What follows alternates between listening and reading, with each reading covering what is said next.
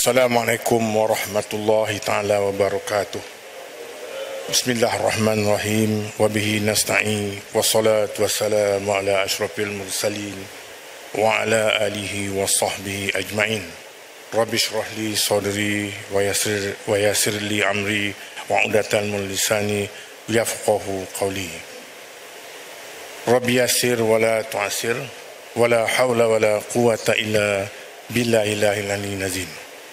Muslimin yang dihormati sekalian, uh, sementara menunggukan uh, waktu uh, zuhur atau waktu Jumaat akan masuk beberapa minit lagi, lebih kurang dalam 20 minit lagi.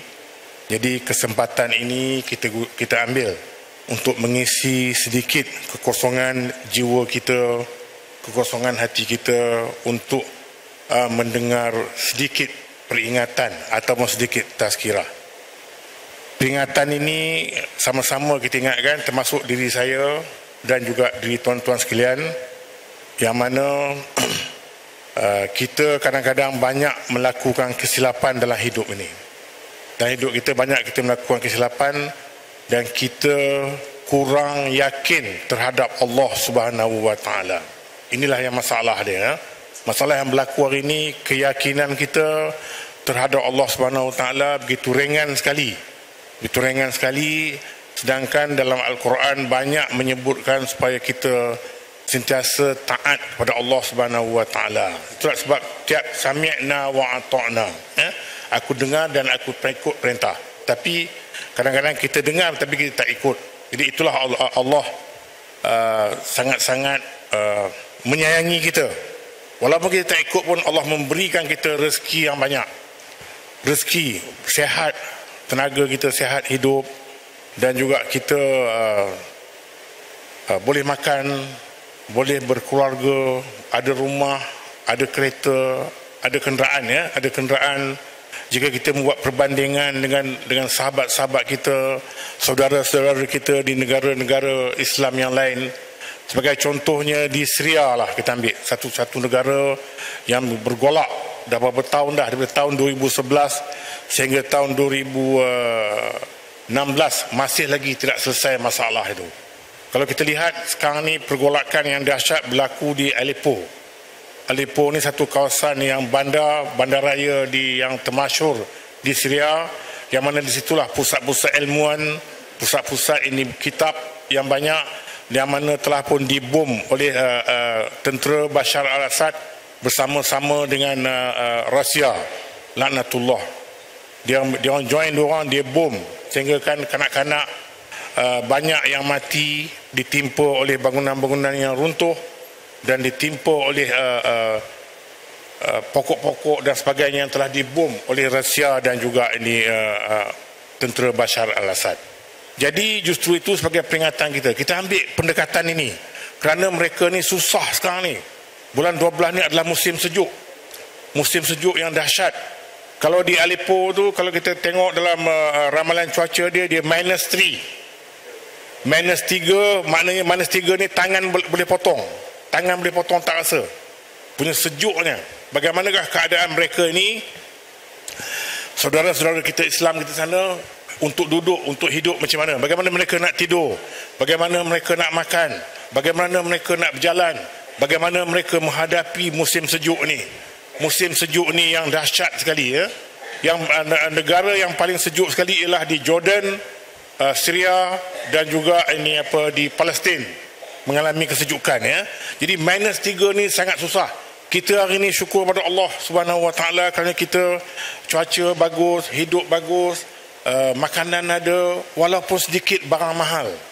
Barang mahal sekarang ni ya tapi uh, bagaimanapun kita bersyukur kepada Allah kita masih lagi boleh mampu untuk berkenderaan. Mereka mereka lari dari rumah hanya membawa dua tiga helai pakaian saja. Sampai tengah jalan dikejar dan dibom ditembak. Dan juga ini satu perkara yang sangat dahsyat yang patut kita kasihan. Patut kita kasihan kepada uh, saudara-saudara kita di Syria.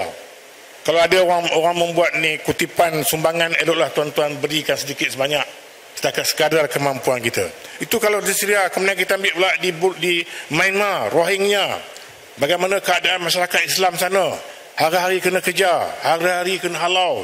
Rumah mereka dibakar, rumah mereka dipecahkan, anak-anak mereka dibunuh, uh, perempuan-perempuan dibunuh dan dirogol. Sebelum bunuh dirogol di hadapan ibu bapa. Habis satu keluarga habis.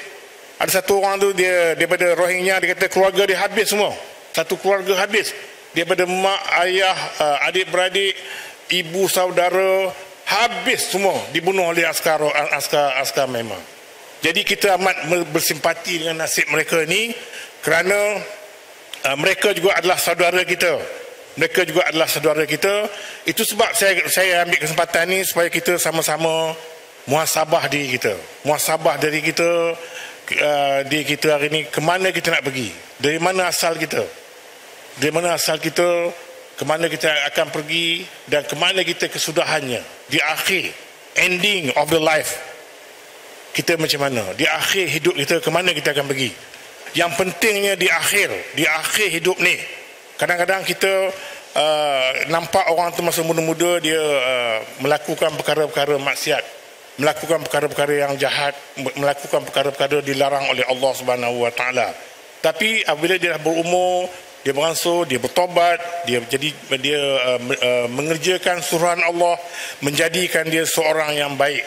Dia sehinggalah dia meninggal dunia. Jadi orang ini yang sangat di di apa di uh, diberkati oleh Allah Subhanahu wa taala. Allah berfirman dalam surah Al-Imran ayat 131. A'udzubillahi minasyaitonirrajim. Wasari'u ila maghfiratin min rabbikum wa jannah. Allah kata wahai hamba-hambaku hendaklah kamu segera bertobat segera memohon keampunan sekiranya kamu melakukan kesalahan kerana syurga menanti kamu. Syurga menanti kamu. Allah janji dalam Al-Quran kalau kita sentiasa bertobat Allah Allah akan menjanjikan syurga. Apa lagi hidup kita di dunia ni berapa lama sangat hidup kita paling tinggi pun Rasulullah kata umur umur umat dia 60 ke 70 tahun jadi uh, di antara 60 70 tahun ni lepas tu kita meninggal. Di akhirat ni sana akan kekal selama-lamanya. Akan kekal selama-lamanya inilah yang kita nak bawa. Justru itu apabila kita melakukan kesilapan dan apabila kita melakukan melakukan kesalahan segera bertobat. Segera bertobat. Jangan tunggu-tunggu lagi. Astagfirullahalazim. Dalam kereta pun sama, naik bas pun sama, di mana-mana juga pun sama.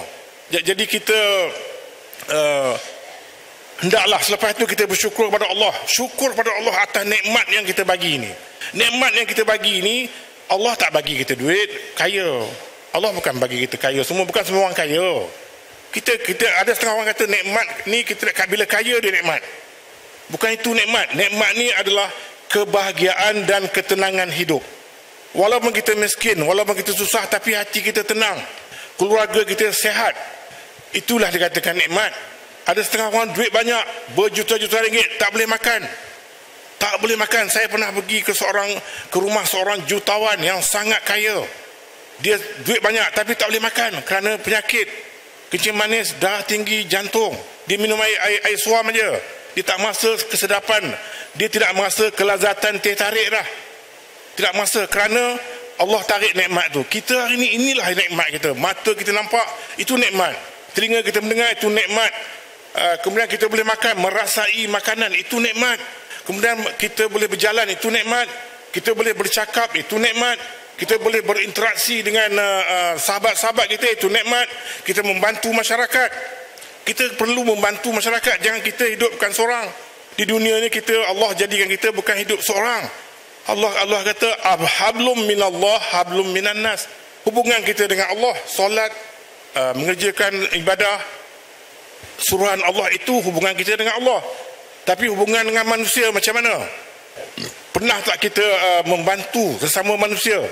Pernah tak kita uh, melihat orang Islam kita membantu memberi nasihat kadang-kadang saya nak terangkan sikit banyak orang kita tengok aja di akhir zaman ni tengok memang betul lah Rasulullah kata di akhir zaman ni orang berzina depan mata orang diam aja.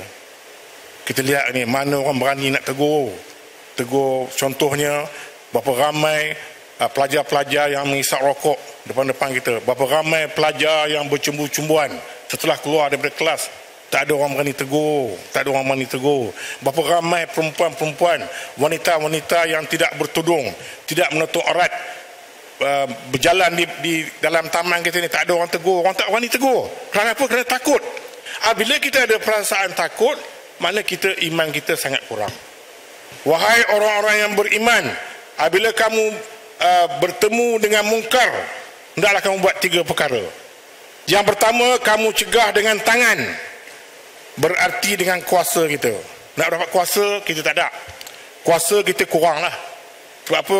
Hanya yang berkuasa seperti uh, wakil rakyat uh, pengarah apa pengarah kuasa jais pegawai-pegawai kerajaan yang ditanggungjawabkan itu ada kuasa. Dia boleh Perdana Menteri. Nombor satu. Itu yang berkuasa. Kalau Perdana Menteri arahkan semua orang betul erat hari ini betul erat kalau Perdana Menteri arahkan saya dia kata saya mahu mulai pada besok satu mulai pada hari Senin ni sempena dengan uh, keputeraan Rasulullah sallallahu alaihi wasallam semua wanita Islam menutup aurat. Habis orang menutup aurat semua. Tudung-tudung melaku semua. Orang akan takut sebab arahan tu kuat daripada nombor satu. Jadi sekarang ni kalau kita nampak yang pertama kita cegah dengan tangan. Tak boleh cegah dengan tangan. Takut. Hendaklah cegah dengan nasihat berkata-kata. Kita bagi tahu dia ya Allah ya Tuhanku. Sebelum sebelum kita cegah dia baca bismillah tu. Tolong bagi tahu dia. Kamu menutup aurat lah. Tolonglah menutup aurat. Kadang-kadang saya pernah juga minum kopi pagi-pagi breakfast dengan Ustaz Sujak di apa uh, kedai Syah restoran Syah tu. Ramai juga wanita-wanita yang tak menutup aurat yang bertudung kerana pakaian dia pun menjolok mata. Tapi kita pergi. Kita pergi tegur dia. Tegur dia. Nasihatkan dia. Dia bukan marah. Dia ucap terima kasih lagi Ucap terima kasih kerana menasihatkan dia. Dia kata saya pun tak pernah dengar orang nasihat macam ni. Tak pernah dengar orang nasihat saya macam ni. Dia. Ini kali yang pertama. Jadi insya Allah dia akan berubah dan akan bertudung dan akan uh, mematuhi segala perintah Allah. Kata dia lah depan kita. Jadi inilah satu. Yang kedua, yang akhir sekali selemah-lemah iman ialah kita menegur dalam hati kita. Menegur dalam hati kita supaya uh, orang tidak akan buat maksiat. Hari ini tuan-tuan lihat sendiri maksiat berluasa di uh, uh, taman uh, taman kita di negara kita. Orang dah tak kisah dah maksiat ni. Perempuan dengan lelaki berpegang-pegang tangan berpeluk-pelukan di airport di di di KLIA berpeluk-pelukan di stesen kereta api. Bercumbu-cumbuan tak ada orang tegur. Kerana apa? Kerana keimanan dia sangat kurang. Sebab kita dalam dalam kutubah jemaat selalu khatib bagi tahu Ya ayyuhallazina amanu ittaqullah ha? Wahai orang yang beriman Taklah kamu sentiasa bertakwa kepada Allah. Bertakwa ni maksudnya Apakah maksud bertakwa ni? Mudah aja. Maksud bertakwa ni Kita uh, mengerjakan suruhan Allah. Ha, Cuba kita muasabah diri kita. Adakah kita cukup mengerjakan suruhan Allah? Ha, Jadi Allah kata solat Adakah kita solat lima waktu kadang-kadang kita solat uh, Allah kata kita solat berjemaah Rasulullah kata solat berjemaah ni uh, sunat muakkadah adakah kita sentiasa berjemaah? Ada orang kata saya terlampau sibuk. Saya sibuk lagi tak boleh. Saya tak boleh datang berjemaah ni. Sibuk sangat. Kalau saya pergi jemaah rugi saya dia kata.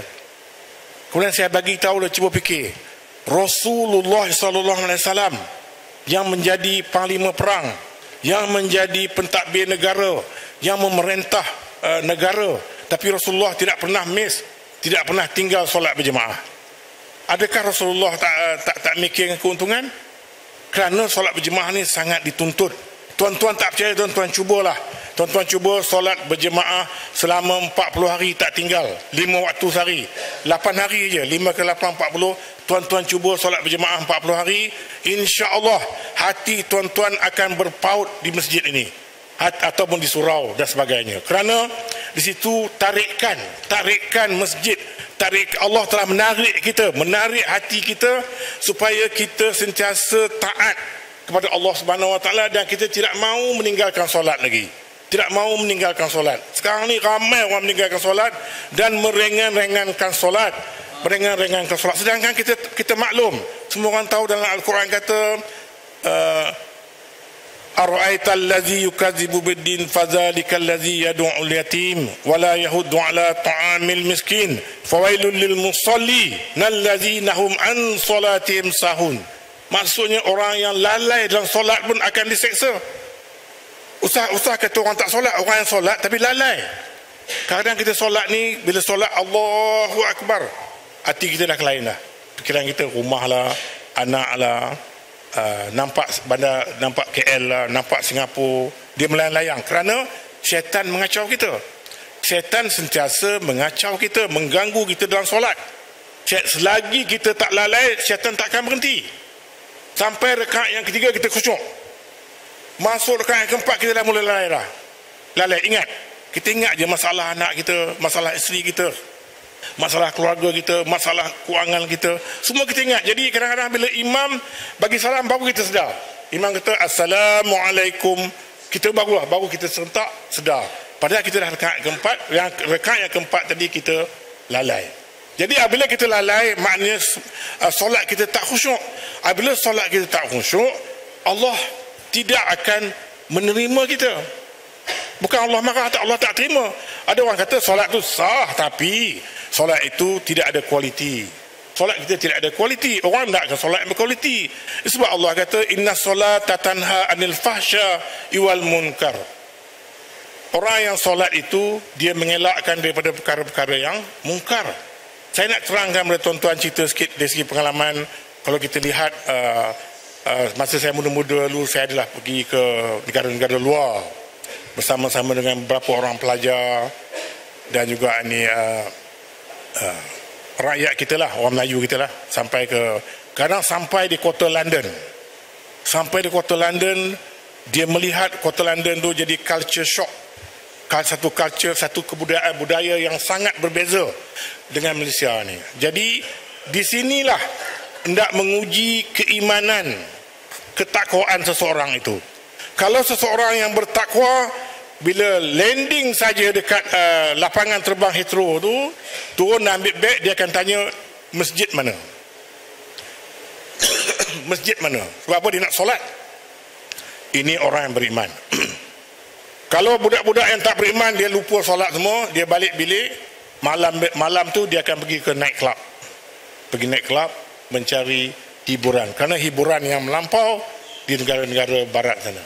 Jadi culture shock. Kenapa? Kerana iman. Sebab kita kena tanamkan anak-anak kita daripada kecil sampai besar iman. Iman takwa, iman takwa kuat. Bila kuat kita bawa dia solat, maka dia tidak akan tinggal solat. Macam mana di ke mana dia pergi pun dia akan selamat. Kalau kita pergi di di, di kota London kita terkejut. Di tengah-tengah kota London tu ada Ma'at Tafiz. Ada Ma'at Tafiz yang uh, mempunyai lebih kurang 100 orang pelajar yang di apa usahakan oleh uh, jemaah dari, dari Pakistan. Ada. Jadi inilah yang kita nak uh, nak jaga jaga keluarga kita, jaga keturunan kita. Jangan bagi rosak. Hari ini banyak keturunan kita yang rosak. Kita lihat aja itu sebab sekarang kadang-kadang kalau kita cakap orang marah, kita lihat saja di apa uh, kadang-kadang di bandar Kuala Lumpur sana, Jalan Bukit Bintang, tuan-tuan tahu Jalan Bukit Bintang telah jadi uh, hadnyai. Kerana banyak sangat pusat-pusat maksiat. Tapi yang ramai sekali pergi adalah orang Melayu. Yang ramai sekali pergi adalah orang Melayu. Ini yang kita takut. Sebab apa mereka ni akan terjebak di masa akan datang iman dia rosak. Apabila iman dia rosak, maka keluarga dia rosak dan akhirnya kalau dia jadi pemimpin, negara akan rosak. Kalau jadi pemimpin, negara akan rosak. Jadi itulah tuan-tuan uh, yang dihormati sekalian di hari yang mulia ini, Yaumul Jumaah. Penghulu segala hari, saya menyeru pada diri saya dan diri tuan-tuan supaya sama-sama kita menumpukan solat kita, jemaat, khutbah ya baca baca khutbah dan solat jumaat dan kita dengar betul-betul apa isi khutbah tu supaya kita dapat uh, menghayati serta dapat mempraktikkan apa yang disarankan oleh khatib yang baca khutbah tadi. Jadi nak mempraktikkan ni dia tak boleh sekali mengejut. Dia kena sikit-sikit sikit-sikit sikit-sikit. Tolong tuan-tuan yang hadir pada hari ini kita jangan kita dua perkara yang patut kita buat yang paling mudah mendapat pahala. Yang paling mudah mendapat pahala dua perkara ni yang pertama duduk dalam majlis ilmu duduk dalam majlis ilmu Rasulullah kata dalam sebuah hadis Rasulullah SAW yang bermaksud barang siapa yang duduk dalam majlis ilmu seolah-olah ianya duduk di taman-taman syurga. Walaupun dia tidur di ketiang tu. Ustaz mengajar ni dia tidur, tak apa, dia dapat ganjaran tu dapat. Ya. Jadi jangan kita rasa jemu. Jangan jemu-jemu mendengar majlis ilmu. Ini yang saya rasa nak saya nak saya nak bagi tahu pada para jemaah sekalian. Kadang-kadang kita di, sama ada di masjid, di surau, di mana-mana masjid bila ada pengumuman uh, kuliah maghrib malam ni sampai oleh ustaz sekian jadi ramai orang keluar. Keluar. Memang kita anggap orang keluar tu ada hal ada hal lain-lain. Tapi kalau boleh kita tunggulah sekejap. 10 minit 20 minit. Apalah sangat kita ni apalah sangat kita ni sibuk sangat ya. Ini majlis ilmu ni ganjaran dia sangat besar. Mengikut kata para ulama malaikat akan bawa bawa nama kita ke atas memberitahu. Orang sepolan-sepolan mendengar majlis ilmu ya Allah berikanlah pahala ya Allah ampunkanlah dosanya. Malaikat yang akan memohon ampun pada kita. Ini satu. Majlis ilmu jangan lupa baca belajar mengaji Al-Quran baca Al-Quran. Banyak orang bila sebut baca Al-Quran je dia lari lari lari. Tak apa. Kita baca alif satu pun cukup. Bah pun cukup. Tak pun cukup. Ada orang dah pencen 56 tahun. Belajar dengan Ustaz Sujak Dia hanya boleh sebut Alif bata aja. Tapi tak apa Sekarang dah pandai dah. Sekarang dah pandai. Akhirnya Allah berikan dia apa uh, uh, Hidayah Dan akhirnya dia pun Dia pula boleh uh, Mengajar orang nanti. Itu yang pertama. Saya menyeru pada diri saya dan tuan-tuan Jangan tinggalkan majlis ilmu Dan yang keduanya Untuk mencari pahala yang mudah Ialah membantu menguruskan jenazah. Membantu menguruskan jenazah daripada jenazah orang tu meninggal dunia dimandikan, dikapankan, disolatkan dan mengiringi jenazah ke tanah tanah perkuburan. Empat perkara ni kalau kita dapat dapat praktikkan insya-Allah Allah akan beri keampunan pada kita dan kita juga akan melihat uh, akan melihat jenazah tadi apabila dimasuk dalam dalam liang lahat di situ kita nak kita juga akan jadi insaf Jangan kita tengok aja kita, kita bandingkan kalau kita masuk macam mana. Bagaimana tiga orang turun di liang lahat, seorang penggali kubur, dua orang saudara mara dia mengangkat jenazah masuk dalam liang lahat. Kemudian jenazah sebut ditutup, setelah ditutup dikambus, kemudian dibuat sebelum sebelum di sebelum ditutup dilonggarkan ikatan jenazah tu, buka muka di sikit, tutup menghadap kiblat, dah tutup dengan papan, tutup dengan tanah. Kemudian habis. Apabila uh, dah habis tu kemudian dibacakan talqin di, di apa ditahlilkan oleh imam yang mengiringi jenazah tersebut. Kemudian balik apabila saudara balik mara balik jenazah tinggal seorang diri. Apa yang dia patut jenazah kalau dia kuat membaca al-Quran al-Quran akan menolong dia. al-Quran al-Quran akan datang membantu dia. Kalau dia banyak sedekah uh, sedekah dia akan membantu dia. Sebab kesempatan kita kita lihat hari ini masjid ni baru nak bina tuan-tuan yang ada mempunyai kemampuan bagilah pada masjid ni. Saya tahu masjid ni uh, sangat penting pada kita. Kerana di Taman Titidak Jaya ni pada tahun 2020 penduduk dia akan jadi 24 ribu orang. Uh, jadi masjid kita tak cukup lagi ya. Jadi masjid dibina atas usaha AJK saya melihat bagaimana AJK bekerja keras bekerja keras untuk membina masjid ni tanpa bayaran dan apa wang-wang tuan-tuan tu bukan masuk dalam uh, tabung masjid masuk dalam tabung wakaf. Masuk dalam tabung wakaf. Tabung wakaf ni maksudnya uh, duit akan pergi kepada MAIS setelah kontraktor siap kerja MAIS akan bayar. Bukan masjid bayar. MAIS yang bayar pada kontraktor. Masjid hanya buat justification je betul dia buat jadi dia bayar. Jadi tuan-tuan kalau ada peluang jangan jangan jangan lepaskan peluang ini. Sebab kita bila kita meninggal nanti anak-anak kita akan duduk sini masjid ni ayah aku ada saham dalam masjid ni. Kita ada saham. Bila kita lalu kita nampak masjid ni terbina besok kita juga ada saham. Selagi ada orang solat dalam masjid tu selagi itu kita dapat pahala. Inilah yang kita akan bawa ke dalam syurga uh, bila kita meninggal nanti.